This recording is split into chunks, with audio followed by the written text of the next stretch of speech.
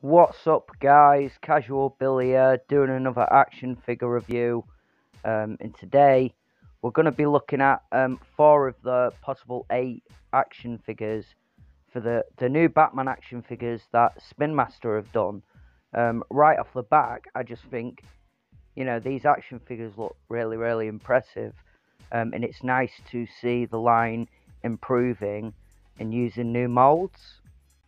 Right, so first up, we are going to take a quick look at the Batman, um, and I'm really impressed with this. I'm really impressed with that head sculpt. It is not a soft sculpt in any way. Um, he just looks really, really good, um, and his proportions are in better scale now and everything. Um, I, I, just, I really like him. He was the first one I picked up. I, um, I did lose his accessories. I can't remember where I put them, but they are in the house somewhere. Um, but yeah, just like you will look at the older figures later, and this is just a massive improvement uh, compared to the older figures. So let's take a look at Nightwing, um, and he is really impressive too. So I really like the sculpted detail that this figure has. Um, lot of lot of sculpted detail. Um, he has the chin strap, which is cool. Um, the blue is super super vibrant. Um, just a really good Nightwing figure, and again, like um, the new mold, the the new scale, um, just really really complements the figure. I think. Taking a look at Robin, which is another incredible offering. Um, his colours are just so vibrant. Um, he looks really good. I don't know about him not having a cape, but I can live with that. I think this is supposed to be Tim Drake, which is my favourite and probably everybody else's favourite Robin.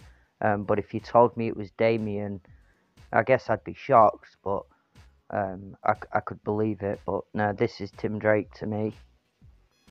And as looking at the Joker, um, and this is a really classic, definitive looking Joker figure um, for your Batman to punch.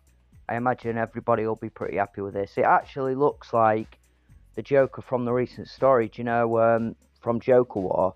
Uh, but I'd still say he looks amazingly classic. Next, we're going to take a look at the accessories. And they come in these branded paper bags with the Batman logo on it, which is freaking brilliant, to be fair. Um, they, they are pretty goofy, some of them. So I think Nightwing has the best accessories because he comes with um, his billy clubs, and then he comes with um, this little Nightwing sort of batarang thing, and uh, and then it's Robin because he comes with his his bow staff or his gun staff, and then he also comes with this grapple launch thing, which is pretty cool, but again pretty goofy. And you know you'll have to let me know because you might know better than me, but um, I think these accessories might be just reused from the older figures.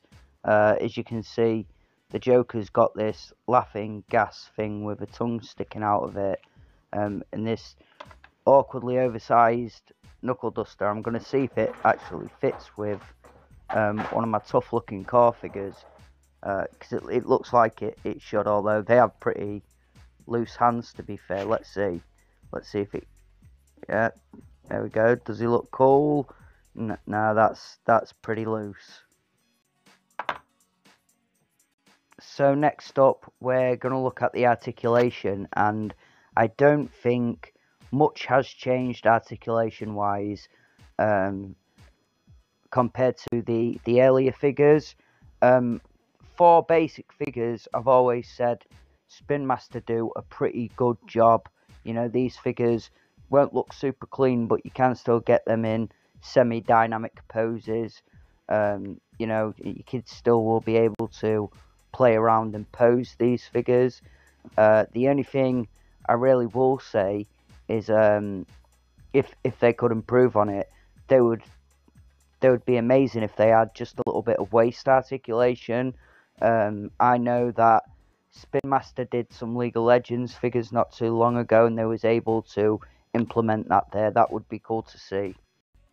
So before I get out of here, um, I'm going to do some comparisons Here's the McDonald's Batman animated series figure, which was the first Batman figure I really had that look like Batman. That wasn't a Kenner one with all the bright yellow colours.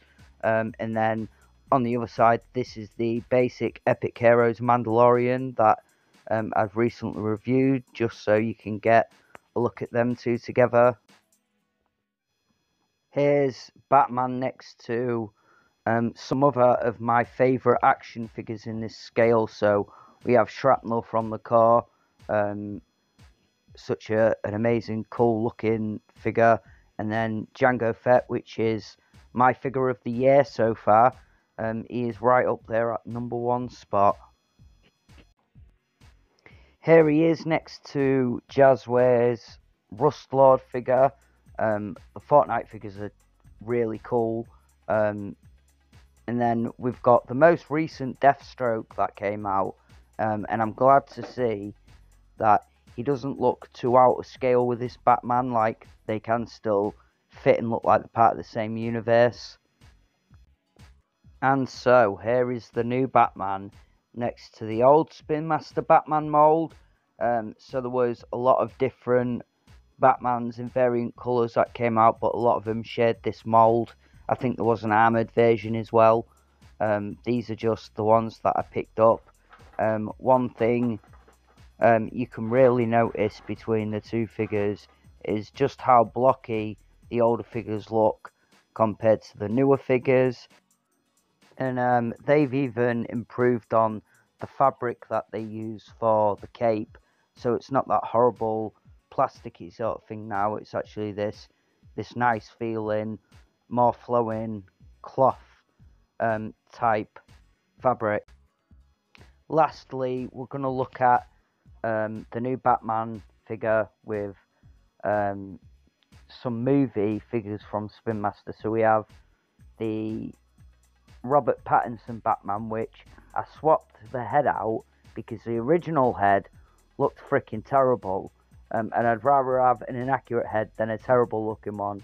And then the one next to it is um, Batman from the Flash movie, Michael Keaton. There you have it. That was a quick look at the new Spin Master Batman action figures. And I am in with this scale. Um, I like the new molds. Um, I will be buying the other figures. Don't know if I'll review them, but I will definitely be picking them up.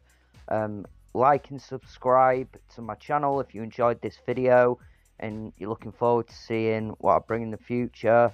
Um, and I'll see you guys in the next few reviews, I guess, or whatever I plan to do next.